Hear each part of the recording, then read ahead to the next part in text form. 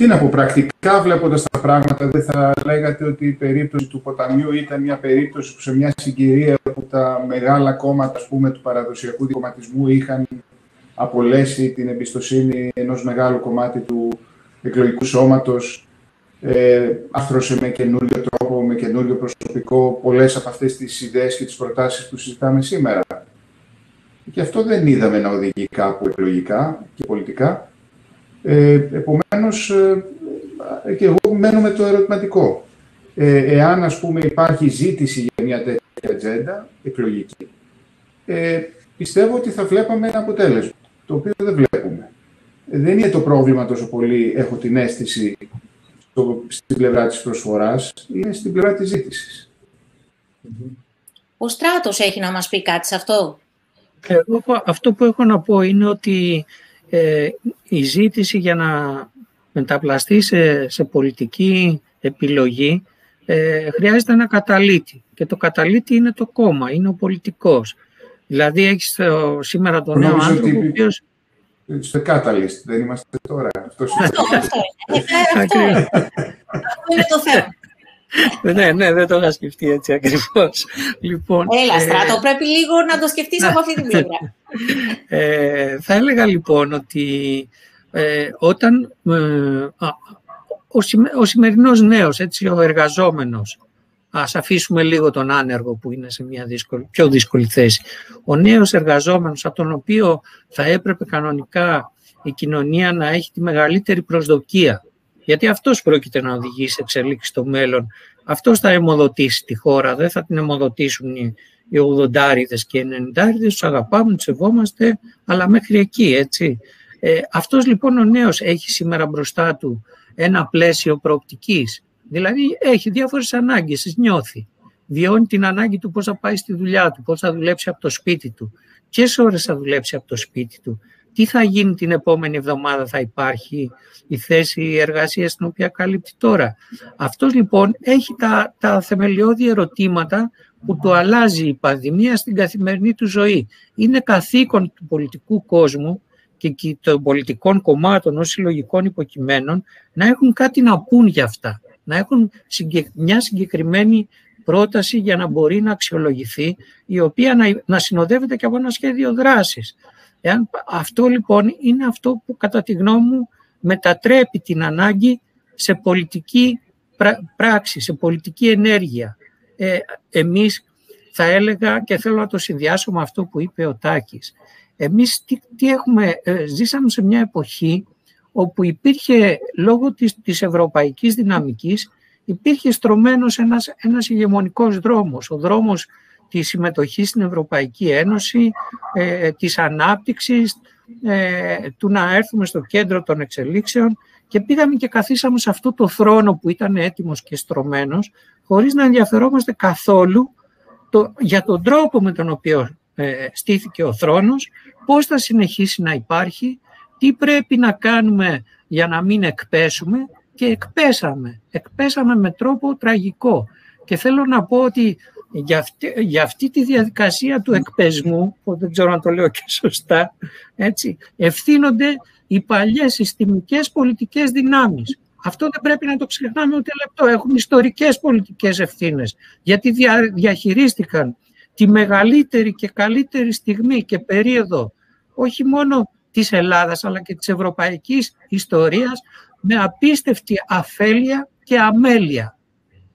Άρα λοιπόν το να έχουμε ένα δρόμο ανοιχτό και καθαρό δεν αρκεί. Χρειάζεται να δουλεύουμε για να τον κρατάμε ανοιχτό, χρειάζεται να δουλεύουμε για να τον διευρύνουμε, χρειάζεται να κάνουμε κάθε προσπάθεια που θα δείχνει ότι αυτές οι διακηρύξεις δεν είναι απλά διακηρύξεις για να αναπαράγεται το πολιτικό σύστημα, αλλά είναι διακηρύξεις για να προχωράμε στην επόμενη μέρα. Και θέλω να κλείσω με ένα απλό παράδειγμα. Έχουμε τον, τον κύριο Πιερακάκη, ο οποίος είναι υπουργός ψηφιακής, δεν ξέρω πώς λέγεται, κάτι ψηφιακό. Ο κύριος Πιερακάκης βλέπετε ότι ε, χωρίς να είναι καν εκλεγμένος βουλευτής, είναι διορισμένος στη θέση του, απολαμβάνει απίστευτης δημοφιλίας και εκτίμησης γιατί, γιατί έφτιαξε το σύστημα με το 13033, το σύστημα να κλείνεις, όχι αυτός, ενώ πολιτικά το ναι. καθοδήγησε, να κλείνεις ραντεβού για να πας να κάνεις το εμβόλιο κτλ. Πράγματα τα οποία είναι απλές εφαρμογές, απλές εφαρμογές πληροφορικής που έπεσαν σαν νερό σε έρημο. Αυτό είναι το παράδειγμα του τι σημαίνει και αν έχει δύναμη η μεταρρύθμιση. Ότι όταν κάνεις το ελάχιστο σε αυτόν τον κόσμο, τότε αποκτά υπόσταση η έννοια της μεταρρύθμισης και της μεταρρυθμιστικής πολιτικής. Όταν είναι μια απλή διακήρυξη, προφανώς όχι μόνο δεν αποκτά υπόσταση και υποστήριξη, αλλά γεννά καχυποψία, γεννά απόσταση. Όταν δηλαδή η Ελλάδα προσπαθούσε εδώ και χρόνια να έρθει στο κέντρο των εξελίξεων και υπήρχαν άνθρωποι οι οποίοι κουλάντριζαν τρία εκατομμύρια συγκεντρωμένους για τις ταυτότητες στο Σύνταγμα, έτσι, ήταν τότε στιγμές απόλυτης ήττας του αιτήματος της μεταρρύθμισης στην Ελλάδα. Και αυτές, αυτές οι στιγμές απόλυτης ήττας ήρθαν και αθρίστηκαν και δεν καταλογίστηκαν. Έτσι και τις βρίσκουμε μπροστά μας ξανά και ξανά. Και ενδεχομένως θα τις ξαναβρούμε μπροστά μας. Άρα λοιπόν ναι. ε, πρέπει να, να βάλουμε τα δάκτυλα στον τύπο των ήλων αν θέλουμε να, να μιλήσουμε για το ποιες μεταρρυθμίσεις χρειάζεται σήμερα η Ελλάδα και με ποιο τρόπο θα επιτευχθούν αυτές οι μεταρρυθμίσεις. Και τότε θα δούμε αν υπάρχουν διαθέσιμοι άνθρωποι να στρατευτούν, να ακολουθήσουν και να υποστηρίξουν. Κάνω το Λωτάκι, έρχομαι σε ένα μέσο έτσι να πω λίγο τα μηνύματα για να είναι και πιο ζωντανή η συζήτησή μας. Ότι ο Δημήτρης λέει: Η συζήτηση για νέο κόμμα υπάρχει, ιδέες υπάρχουν, η πρωτοβουλία σοβαρών ανθρώπων λείπει. Ε, συμφωνούν επίσης με την ανάλυση του Σλάτου και ο Βασίλης. Και κάποιοι λένε ότι δεν υπάρχει τόλμη στους υφιστάμενους κομματικούς σχηματισμούς, όπως ο Μάρκος, να δοκιμάσουν και να αναδείξουν νέα πρόσωπα με νέες ιδέες και νοοτροπίες. Ε, έχει ενδιαφέρον πάντως αυτό το τάκι. Το λέω αυτό έτσι στη, μετά από ώρα που συζητάμε, ότι εδώ ο Στράτο αναδεικνύει κάτι. Ήταν αυτό που ρώτησα και εγώ πριν, ότι τελικά, άμα δίνεις πρακτικές απαντήσεις σε υπαρκτά προβλήματα, όπως το θέμα της πανδημίας, η ψηφιοποίηση υπηρεσιών, οι απαντήσεις για το θέμα της τηλεργασίας που αφορούν τους νέους και όσους είναι εργαζόμενοι και ζουν στην επισφάλεια, μπορεί να φτιάξεις και ατζέντα. Δηλαδή, μπορεί να, να φτιάξεις ακροατήριο από το πουθενά. Εδώ έχουμε, έχουμε τον κύριο Μπένο και με συγχωρείτε, ε, ξέρω ότι παρεμβαίνω. Ο κύριος Μπένος είναι σε ένα πολιτικό βάθρο, έχει ένα legacy ιστορικό, γιατί ε, του έχει χρεωθεί ότι έκανε τα ΚΕΠ, αν είναι δυνατόν δηλαδή. Αν είναι, σε τέτοια κατάσταση βρίσκεται η Ελλάδα, ακόμα με τα ΚΕΠ. Και θεωρείται η μεγαλύτερη στιγμή της μεταρρυθμιστικής Ελλάδας αυτό. Τόσο τραγικά είναι τα πράγματα. Ε, εγώ συμφωνώ με αυτά που είπε ο κ. Φαναράς προηγουμένως, απολύτως. Ε, υπάρχει μια μικρή διαφορά όμως εδώ πέρα. Κοιτάξτε, προσέξτε. Ο Πιερακάκης προσφέρει μεταρρυθμίσεις για τις οποίες υπάρχει τεράστια και απόλυτη ζήτηση. Όλοι θέλουν αυτές τις μεταρρυθμίσεις, γιατί φτιάχνουν τη ζωή όλων μας. Όλων μας, χωρίς καμία εξαίρεση. Βάλτε τώρα τον Πιερακάκη, Υπουργό Παιδείας, παρακαλώ. Τι, ποιο είναι το πρόβλημα, ποιο θα ήταν το πρόβλημα του κάθε Πιερακάκη εδώ πέρα; Ότι οι μεταρρυθμίσεις στην παιδεία δεν την χάνουν γενική υποδοχής. Γιατί δεν την χάνουν γενικής αποδοχής, Γιατί τις υποστηρίζει πάντα το κόμμα που είναι στην κυβέρνηση. Παλιότερα ήταν το Πασόκ αυτό, με τις μεταρρυθμίσεις Διαματοπούλου. Μετά ήταν η Νέα Δημοκρατία με τη Γιαννάκου. Τώρα είναι πάλι η Νέα Δημοκρατία. Αλλά όποιο και αν ήταν το κόμμα το οποίο προσπαθεί να κάνει τις μεταρρυθμίσεις στην παιδεία ή στο ασφαλιστικό, αν θέλετε, κτλ., βρίσκει απέναντί του την αντιπολίτευση. Δηλαδή υπάρχει προσφορά μεταρρυθμίσεων, αλλά η ζήτηση είναι στρεβλή, είναι μικρή, είναι λίγη, είναι ελλειπής. Τι θέλουμε λοιπόν; Θέλουμε ένα δεύτερο κόμμα, και εδώ πέρα είναι ο ρόλος κεντροαριστεράς, και αυτό έλεγα από την αρχή, το οποίο θα υποστηρίξει μια μεταρρυθμιστική ατζέντα, η οποία θα είναι κοινή. Θα είναι η ατζέντα των, κοινής, των κομμάτων που θέλουν μεταρρυθμίσεις. Αθηνά, προφανώς διαφέρουμε όλοι στις, σε αυτά που θέλουμε για το. Υπάρχουν πολλές διαιρέσεις μέσα στη χώρα, όπως και σε οποιαδήποτε άλλη χώρα και σε οποιαδήποτε εποχή. Παρ' όλα αυτά, δεν υπάρχουν μεγάλες ιδέες για το μέλλον της χώρας. Δεν υπάρχουν ιδέες που να λένε ότι όχι να φύγουμε από την Ευρωπαϊκή Ένωση, να ακολουθήσουμε ένα τρίτο δρόμο, για παράδειγμα, να κάνουμε πόλεμο με την Τουρκία, ξέρω εγώ, οποιαδήποτε τέτοια τρέλα. Τίποτα τέτοιο δεν υπάρχει. Όλοι μιλάμε για μεταρρυθμίσεις. Θέλουμε να φτιάξουμε τις ζωές μας. Θέλουμε ένα κράτος το οποίο θα είναι περισσότερο λειτουργικό, το οποίο θα βοηθάει τον πολίτη, θα εξυπηρετεί τον πολίτη. Θα έχει μια αξιοκρατία. Θα έχει ένα σύστημα παιδείας το οποίο θα είναι αξιοπρεπές, ας πούμε το ελάχιστο. Για να γίνει λοιπόν αυτό, δεν σου αρκεί ένας πιερακάκη, σου αρκεί ένας πιερακάκη και ένας would-be αντίπαλος πιερακάκη στο άλλο κόμμα, το ο οποίος θα γίνει ο επόμενος υπουργός και συνεπώς καταλαβαίνει και αισθάνεται ότι έχει κάθε συμφέρον να υποστηρίξει τις μεταρρυθμίσεις. Θέλουμε λοιπόν να παίξουμε ένα παιχνίδι θετικού αθροίσματος σε αυτή τη χώρα. Το σημαντικό είναι λοιπόν, και γι' αυτό χρειάζεται μια ισχυρή κεντρο-αριστερά, της στιγμή που υπάρχει μια, μια ισχυρή κεντρο-δεξιά, αυτά τα δύο να φτιάξουν ένα παιχνίδι θετικού αθροίσματος για τη χώρα για τα επόμενα 5-10 χρόνια. Και το αφήνω εδώ. Ε, Πάντως, για να πάω στο Στάθη και στην Αθηνά, για να συνοψίσουμε έτσι την συζήτηση κλείνοντας, ε, βλέπω, ε, θέλω να θέσω έτσι, επειδή ξέρω ότι του Στάθη το αρέσουν αυτά τα ερωτήματα, αλλά θα, θα ήθελα να ακούσω κάτι επιχειρήματα από την πλευρά της Αθηνάς. Όχι τόσο στο πρόσωπο του Πιερακάκη, επειδή έπεσε ως παράδειγμα, γιατί είναι ένας άνθρωπος ο οποίος προέρχεται από αυτόν τον χώρο. Εγώ το σκεφτόμουν κάπως κοινικά και έλεγα: Ωραία, και τι θα έκανε ο Πιερακάκη αν ήταν τόσο στο κοινάλ. Ξέρω ότι μπορεί να δυσαρεστήσω κάποιος από το κοινάλ. Τι θα έκανε, δηλαδή θα ψάχνε να δει τι θα γίνει στις ισοκομματικές εκλογές και αντί να λύνει ζητήματα όπως αυτό, μπορεί να έλυνε πότε θα γίνουν οι εκλογές και τι λέει το καταστατικό. Και τελικά σκέφτομαι μήπως κάποιοι χώροι δεν αφήνουν, δηλαδή έχουν τα πρόσωπα, γιατί και ο Πιερακάκη πέρασε κάπου από το χώρο της κεντρού αριστεράς, αλλά είναι τέτοια η ατζέντα, είναι τέτοια η αντίληψη που έχουν, που τα πρόσωπα κάποια στιγμή ασφικτιούν και αυτομάτως χρειάζεται να φύγουν και να πάνε κάπου αλλού. Και δεν ξέρω τελικά αν και η Νέα Δημοκρατία ε, και αυτό ερωτάω τώρα το, το Στάθη, αυτά τα πρόσωπα με το Σταυρό αργότερα θα τα αξιοποιήσει, διότι δεν έχουμε καταλάβει ακόμα το ακροατήριο της Νέας Δημοκρατίας πώς ψηφίζει. Ε, για την περίπτωση... Τώρα λέω Δημοκρατίας, γιατί είναι απλά κυβέρνηση, θα μπορούσε να τους ΣΥΡΙΖΑ. Εάν κατάλαβα το ερώτημα, ε, η αίσθηση που έχω είναι ότι ε, στη συγκεκριμένη περίπτωση ε, άνθρωποι πολλές φορές υψηλής ποιότητας, τεχνοκράτες κλπ. Ε, αποχωρούν από μικρούς σχηματισμούς και δοκιμάζουν τη, την τύχη τους σε κόμματα εξουσίας, γιατί θέλουν να δοκιμάσουν τις ιδέες τους και να τις, βάλουν, να τις θέσουν σε πράξη. Δεν είναι δηλαδή ότι υπάρχει κάτι στα μικρά κόμματα που τους εμποδίζει σε θέματα αρχών, αντιθέτως. Ε, και αυτό το έχουμε δει παραδοσιακά. Ένα μεγάλο κομμάτι των ανθρώπων που υλοποίησαν τα προγράμματα του Πασόκ και τις μεγάλες μεταρρυθμίσεις του Πασόκ τη δεκαετία του 80 προέρχονταν από το χώρο τότε του κούκου εσωτικού. Ε, πάντα υπήρχε αυτή η διάσταση, είτε σε επίπεδο τεχνοκρατών, είτε σε επίπεδο υπουργών και μετά άνθρωποι που ακολούθησαν μια συγκεκριμένη πολιτική σταδιοδρομία. Αυτός είναι και ο ρόλος των μεγάλων κομμάτων εξουσίας, που είναι πολύ διακτικά. Δεν είναι, υπάρχει πρόβλημα σε αυτό. Ε, πάντα εκ των πραγμάτων τα κόμματα αυτά έχουν μέσα τους πολύ διαφορετικές απόψεις, τις οποίες συνθέτουν πάντα με έναν τρόπο που τους επιτρέπει να επιβιώσουν και να συνεχίσουν να υπάρχουν και να λειτουργούν. Δεν θα αλλάξει αυτό, ούτε έχει, έχουμε παρατηρήσει μια αλλαγή. Οπότε δεν έχω καταλάβει ακριβώς το ερώτημα. Είναι αν θα δούμε μια τέτοια τάση να μεγαλώνει. Αυτό και αν θα δούμε μια τάση να ψηφίσει τεχνοκράτες που έχουν κάτι να προσφέρουν και δεν κοιτά την ιδεολογία πλέον, αν αυτός είναι δεξιός ή αν είναι κεντροαριστερό. Δηλαδή, αν είμαστε δεξιό ψηφοφόρο, να λέει: Όχι, δεν θέλω το δεξιό πολιτευτή. Θέλω αυτόν που μου έφερε ψηφιακές υπηρεσίες. Γιατί αυτό είναι. είναι... Δεν είναι απλό αυτό το δίλημα μόνο, δηλαδή μια ιδεολογίας με όρους ας πούμε αφηρημένους από τη μία και από την άλλη ε, κάποιος ο οποίος κάνει τη δουλειά σωστά ως τεχνοκράτης.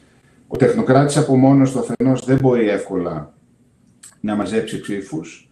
Ε, και αφετέρου, ε, δεν, θα είχαμε κόμματα αμυγός τεχνοκρατών, αν, ήταν, αν ίσχυε αυτό το πράγμα.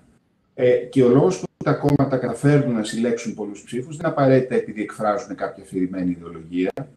Το αντίθετο, ότι πο, πο, πο, πολλοί ας πούμε ισχυρίζονται ότι τα κόμματα πολυσεκτικά νερώνουν οποιασδήποτε ιδεολογίες για να μπορέσουν να απευθυνθούν σε πολύ διαφορετικά ακροατήρια.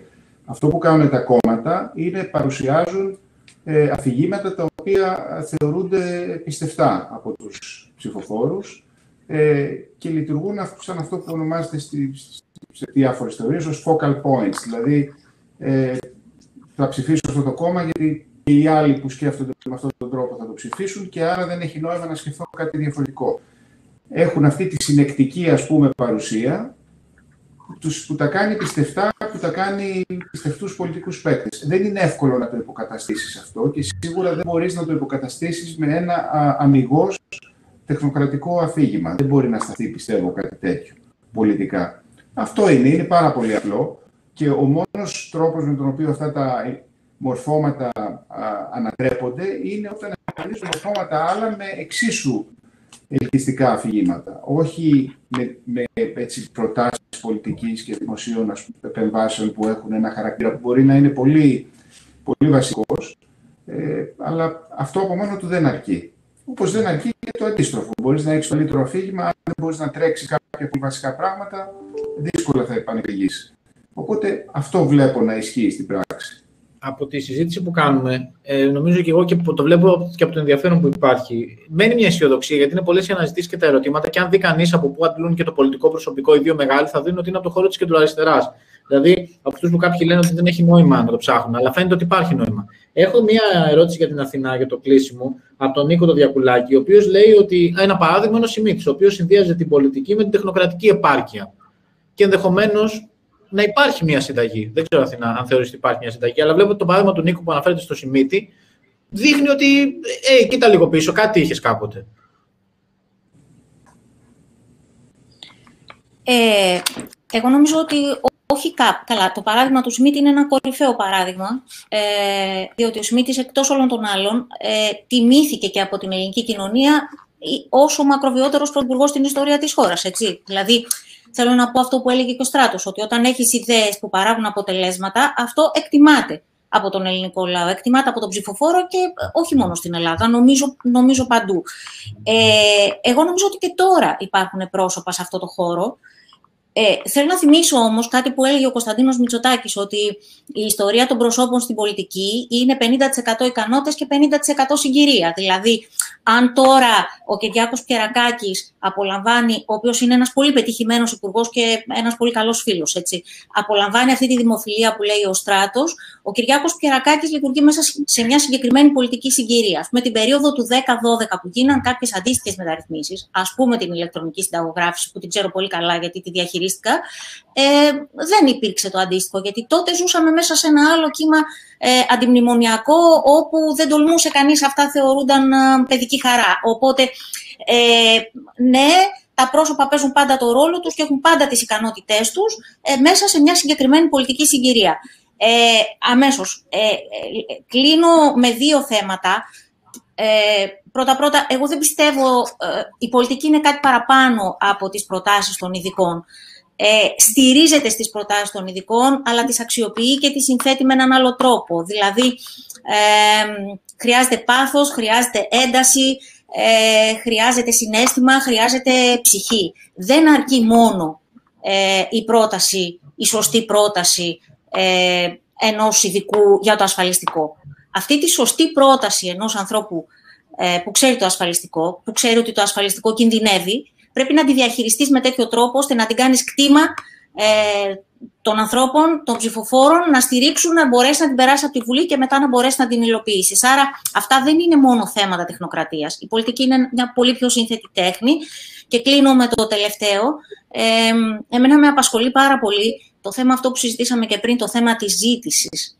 Δηλαδή, πιστεύω ότι όλα αυτά που συζητάμε καλά είναι, ε, αλλά πρέπει να δούμε πόσο υπάρχουν, πόσο κάνουν εγκέλ στην ελληνική κοινωνία, πόσο ανταποκρίνονται οι άνθρωποι από την άλλη πλευρά. Στην προηγούμενη διαδικτυακή συζήτηση που είχαμε στο Catalyst αφορούσε ε, ε, το θέμα του, του μέλλοντος της δικηγορίας. Έλεγαν λοιπόν οι πρόεδροι των δικηγορικών συλλόγων ότι είχαν πάει προκειμένου να προωθήσουν τους εξοδικαστικούς συμβιβασμούς και στις ΣΕΡΕΣ ε, σχεδόν τους πήραν με τις πέτρες, διότι οι δικηγόροι δεν ήθελαν να προχωρήσει το θέμα του εξοδικαστικού συμβιβασμού, επειδή ήθελαν να κόβουν το παραστατικό που παίρνουν κάποια λεφτά και το θεωρούσαν ένα σταθερό ε, εισόδημα και εξασφαλισμένο. Άρα λοιπόν ε, ε, θέλω να πω ότι όταν ασχολείται κανείς, η, η, η, πολιτική έχει και ένα παιδαγωγικό ρόλο και νομίζω ότι αυτή είναι η πιο σοβαρή δουλειά που έχουμε να κάνουμε τώρα και σαν κεντρός χώρος, δηλαδή να βάλουμε κάποια θέματα προκειμένου να, να διαπαιδαγωγήσουμε με έναν ορισμένο τρόπο την ελληνική κοινωνία. Παλιά υπήρχαν κόμματα, πούμε, το κουκουέ εσωτερικού, που ήταν ένας απολύ, ε, ε, ένα απολύτως αποτυχημένο κόμμα εκλογικά. αλλά ήταν ένα απολύτως επιτυχημένο ε, ε, κόμμα πολιτικά. Δηλαδή ήταν το μόνο κόμμα που έθετε το θέμα της ευρωπαϊκής προοπτικής, το οποίο μετά από ορισμένα χρόνια έγινε η, η, η σταθερά ολόκληρου του πολιτικού συστήματος. Ε, πρέπει αυτή τη στιγμή, πέρα από το να δούμε πώς θα φτιάξουμε ένα κόμμα, ποιος θα είναι ο αρχηγός αυτού του κόμματος, να πούμε πράγματα που μπορούν να συνεγείρουν την ελληνική κοινωνία, ακόμα και αν είναι αντίθετα στο ρεύμα. Μόνο στη βάση αυτής της πολιτικής ατζέντας, κατά τη δική μου γνώμη, που μπορεί πάντα να είναι λάθος, γιατί έχω κάνει πολλά πολιτικά λάθη στη ζωή μου, ε, μόνο αυτός είναι ένας τρόπος να υπάρξει πια ένας χώρος, σαν αυτό που συζητούμε. Εγώ βλέποντας πάντως τα ερωτήματα των φίλων μας και την, ε, το ενδιαφέρον που υπάρχει, αλλά και τις τοποθετήσεις από αυτήν εδώ τη συζήτηση, δεν ξέρω. Προσωπικά θέλω αισιοδόξω ότι αυτή η συζήτηση έχει πολύ μεγάλο ενδιαφέρον και ίσως έχει και νόημα υπαρκτό. Μπορεί να είναι σε δεύτερο χρόνο. Πάντως βλέπω ότι πάρα πολλοί κόσμοι ενδιαφέρονται για την ύπαρξη αυτού του χώρου που έχει το ερώτημα αν υπάρχει. Εγώ πάντως να σας πω ότι επειδή έχουμε κάνει άλλες 22, πουθενά άλλου δεν είχαμε τόσες πολλές ερωτήσεις εδώ από ανθρώπους που έχουν και προτάσεις και αντιρρήσεις και συμφωνίες. Πολύ ενδιαφέρον για μας. Πάντως να πω κάτι πριν το, πριν το κλείσουμε. Ε, μου κάνει τώρα εντύπωση που ακούω όλη αυτή τη συζήτηση και την παίζω στο μυαλό μου, έτσι όπως εξελίσσεται. Νομίζω ότι φτάνουμε, αν δεν ξεκινούσαμε, θα έπρεπε να ξεκινήσουμε από το εξής ερώτημα, ότι ενώ υπάρχουν πολλοί άνθρωποι από την κεντροαριστερά οι οποίοι αναλαμβάνουν σημαντικές θέσεις στη διοίκηση. Δεν είναι μόνο ο Πιερακάκη. Μην ξεχνάμε ότι η πρόεδρος της Δημοκρατίας προέρχεται από την κεντροαριστερά. Η, η, Ελληνίδα, η Ελληνίδα υποψήφια για τη Γενική Γραμματεία του ΟΣΑ προέρχεται από την κεντροαριστερά και πάει λέγοντας. Το μεγάλο ερώτημα λοιπόν εδώ πέρα θα ήταν, και αν κάνεις Αθηνά μια ακόμα συζήτηση, ξεκινά μάλλον από αυτό, είναι γιατί ενώ υπάρχουν τόσοι άνθρωποι κακοί στον χώρο της κεντροαριστεράς, δεν υπάρχει ένα μεγάλο κόμμα της κεντροαριστεράς σήμερα; Ακριβώς, αυτό είναι το ερώτημα. Τι θα έκαναν αυτοί ε, Γιατί είναι κακό χωριό λίγα σπίτια, να το πω έτσι. χωριό λίγα σπίτια. Αν σκεφτεί το χωριό, λοιπόν. Αν σκεφτεί κανείς τα πρόσωπα, είναι κορυφαία. Δηλαδή, δεν κανείς τι έκαναν το Γεραπετρίτη, το Σκέρτσο, το Πιερακάκι, το Χρυσογοίδη. Πού ήταν τα προηγούμενα χρόνια; Άρα λοιπόν επανερχόμαστε στο ότι δεν είναι θέμα προσώπων, έτσι, το οποίο εγώ δεν υποτιμώ, δεν υποτιμώ. Είναι πάντα ο εξισορροπητικός κρίκος στη λειτουργία των θεσμών της δημοκρατίας τα πρόσωπα. Δεν το, δεν το συζητώ, αλλά στην συγκεκριμένη περίπτωση δεν είναι το, το θέμα μας ότι δεν υπάρχει το λαμπερό πρόσωπο στο, στο χώρο αυτό. Δεν υπάρχουν οι λαμπερές ιδέες, γι' αυτό δεν υπάρχει το λαμπερό πρόσωπο. Πάντως τα πολιτικά κόμματα δεν είναι απλώς μεγάλα think tank. Σωστά. Επιτελούν διαφορετικό ρόλο, έχουν άλλες λειτουργίες. Γι' αυτό δεν κάνουμε κόμμα κι εμείς και έχουμε μόνο think tank. Όπως και το κουκουέ εσωτερικού, think tank ήταν. Όχι, το κουκουέ εσωτερικού ήταν κόμμα. Εντάξει, αστείο. Αλλά αυτό είναι άλλη συζήτηση. Πάντως να πω, να πω λίγο και εγώ αυτό με τους τεχνοκράτες που λέτε. Είναι σαφές ότι η πολιτική πρώτα απ' όλα απευθύνεται στο φαντασιακό, στην προσδοκία των ανθρώπων για, για ένα μέλλον. Αυτό που έχει αλλάξει όμως είναι ότι έχει πλέον αρχίσει να μην αρκεί η απεύθυνση στο φαντασιακό. Δηλαδή, πλέον δεν φτάνουν τα μεγάλα λόγια. άμα πει, ας πούμε, κάτι ο, ο κύριος ε, Κικίλιας, θα τον ακούσουμε μόνο αν το υποστηρίζει και ο κύριος Τσιόδρας. Άμα πει ο κύριος Τσιόδρας, την μπουρδα είναι αυτή που λες κύριε Κικίλια, δεν θα ασχοληθούμε μαζί του. Άρα λοιπόν είναι επικουρική πάντα η τεχνοκρατική άποψη και έχει αναβαθμίσει το ρόλο της λόγω της νέας εποχής και των νέων συγκυριών που ζούμε. Και είναι πολύ σωστό αυτό ότι οι συγκυρίες παίζουν τεράστιο ρόλο. Έτσι. Ότι μεταρρυθμίσεις σε μια φάση που κυριαρχούσε το σχήμα μνημόνιο-αντιμνημόνιο ήταν ε, ε, ένα ζήτημα ε, το οποίο δεν απασχολούσε κανέναν. Κακός, αλλά έτσι είναι. Άρα η επιτυχία του Μητσοτάκη που του αξιοποίησε, λέει ο Βασίλης, στράτο. Τα πρόσωπα, δηλαδή. Ε, βέβαια. Αναμφισβήτητη επιτυχία. Κάθε Κάθε ένας προσπαθεί, να, ειδικά ένα κόμμα εξουσίας, προσπαθεί να διευρύνει τον, την ηγεμονία του, ε, βάζοντας μέσα στο, στο team του ε, προσωπικότητες από άλλους χώρους που έχουν παρόμοιες απόψεις. Αυτό, αυτό νομίζω το έχουν, το έχουν κάνει όλοι οι μεγάλοι ηγέτες και, και είναι βασικό συστατικό της. Ε, όλοι προσπαθούν να το κάνουν. Και ο Τσίπρας προσπάθησε να το κάνει, ε, άλλο αν έπαιζε πάνω στη Ράχελ Μακρύ. Έχει βγει έχει πάει στο τράγκα. Και αυτό κάποια στιγμή πρέπει να το συζητήσουμε, όχι για το κέντρο, για τη λογική της νομοσιολογίας. Λοιπόν, νομίζω ότι... Λοιπόν, στην επόμενη συζήτηση. συζήτηση αυτή και το βλέπω και από τη συμμετοχή, και, αλλά και από το ότι εγώ τουλάχιστον και φαντάζομαι δεν άκουσα τίποτα ξύλινο. Μου άρεσε πολύ περισσότερο από κάθε πάνελ που βλέπω από αυτά τα κλισέ, αυτή η συζήτηση. Αθηνά, νομίζω ότι το ερώτημά σου έχει δεχτεί πολλές απαντήσεις ήδη. Με δύο από τους πιο λαμπρούς πολιτικούς επιστήμονες δεν θα μπορούσε να είναι αλλιώς. Δεν είχατε πολιτικούς έτσι, γι' αυτό; Θέλω να πω ότι τους παρακολουθούμε με μεγάλη προσοχή και σεβασμό. Και με έναν εξαιρετικό δημοσκόπο που καμιά φορά, όχι καμιά φορά, μια φορά αμφισβητήθηκε, αλλά εμείς είμαστε με το δημοσκόπο. Νομίζω ότι τα αποτελέσματα. κάθε μέρα αμφισβητούμε, θα κάθε μέρα. Τον οποίο τον στηρίζουμε κιόλας. τον στηρίζουμε στις, ε, τις περιπέτειες του τελευταίου καιρού. Λοιπόν, χαίρομαι πολύ που σας άρεσε σε όλους. Ε, θέλω να σας ευχαριστήσω πάρα πολύ. Η πρόθεση μας ήταν να μην κάνουμε άλλη μια τέτοιου τύπου συζήτηση, γιατί ε, όπως λέει ένας φίλος μου, έχουμε πιει 10.000 καφέδες στην κεντροαριστερά και φαγητά, ε, θα γίνουμε 400 κιλά, αλλά ακόμα δεν θα υπάρχει. Δεν θέλαμε να κάνουμε τέτοιο πράγμα. Θέλαμε απλώς να διερευνήσουμε τις προϋποθέσεις ε, θέλω να ευχαριστήσω πάρα πάρα πολύ τον Γιώργο Πιέρο που το συντόνισε, τον Στράτο Φαναρά, πρόεδρο της Metron Analysis, τον κύριο Στάθη Καλύβα από την Οξφόρδη και τον κύριο Τάκη Παπά από το Πανεπιστήμιο του Ελσίνκη. Ε, και να σας υποσχεθούμε ότι την επόμενη εβδομάδα το Catalyst θα κάνει μια πάρα πολύ ενδιαφέρουσα συζήτηση για την οικονομία με εξαιρετικούς καλεσμένους όπως πάντα και περιμένουμε να την παρακολουθήσετε. Λοιπόν, ευχαριστούμε. Καλή νύχτα σας. Εμείς ευχαριστούμε και εμείς. Thank you.